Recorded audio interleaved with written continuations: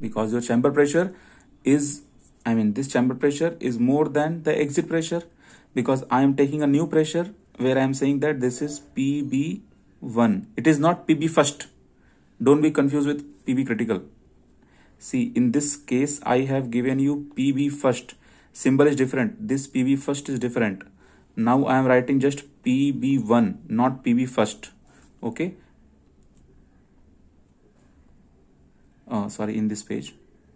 Yeah in this page you can see I am writing PB1 this is not PB first.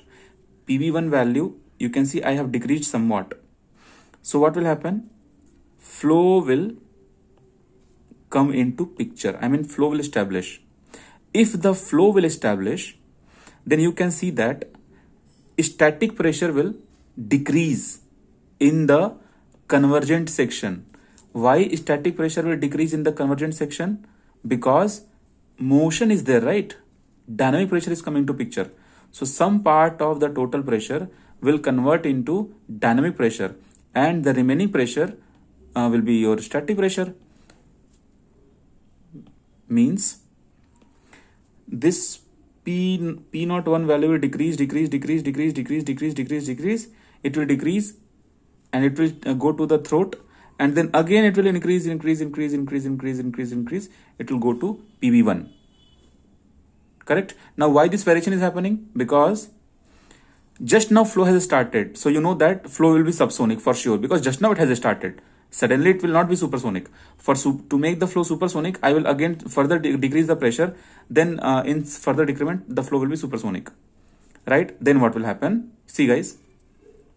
Everyone uh, you see one by one now again decrease the pressure.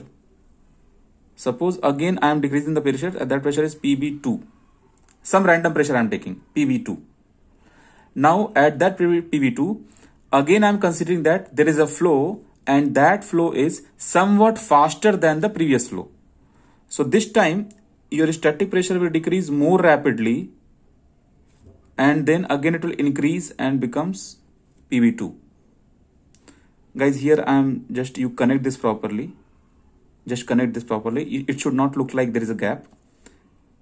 Okay it should not look like there is a gap. Like just come like this and go like this. Right? Okay.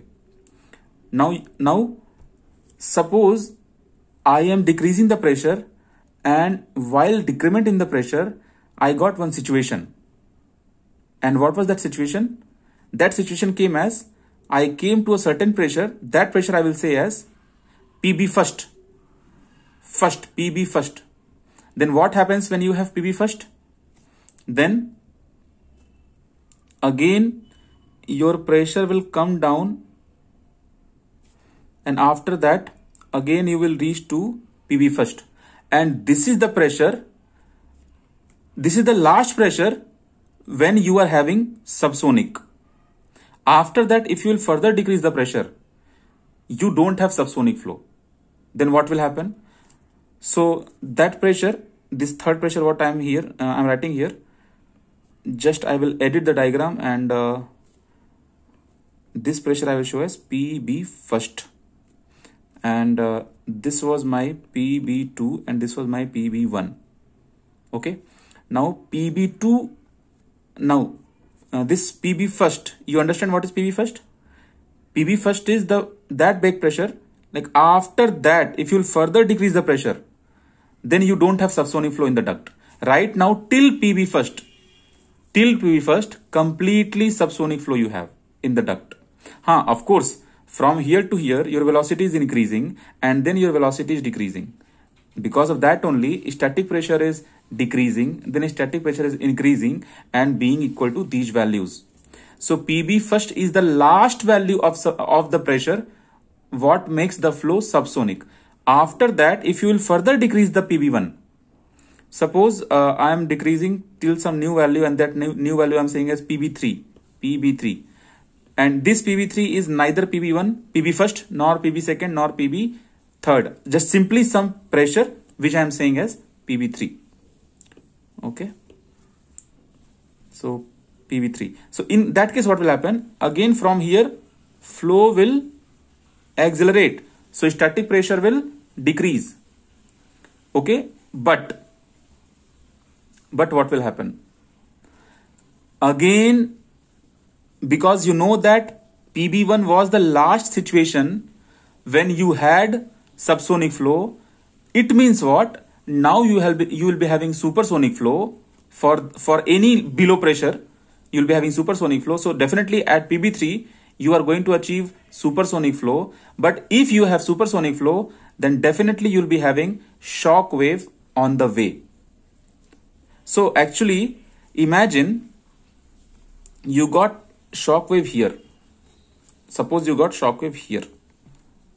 So, but what about this much portion? Then in this much portion, only in this much portion, you were able to achieve the supersonic flow. So if you have supersonic flow, then you know that supersonic flow accelerates in divergent section, correct? So again, your static pressure will decrease for uh, uh, little more, little more region, it will decrease. But here, suddenly you will be getting normal shock wave. Like here, you'll be getting normal shock wave. And you know, after normal shock wave, again subsonic. So again, your uh, pressure will increase and it becomes PB3. I hope it's clear. Then again, suppose you have some other pressure, PB4, just imagine you got some PB4. Then in case of PB4, what will happen? Again, from, from here itself, the pressure will decrease. You don't have to take another line. No, you can't take another line. Okay. This is the main thing.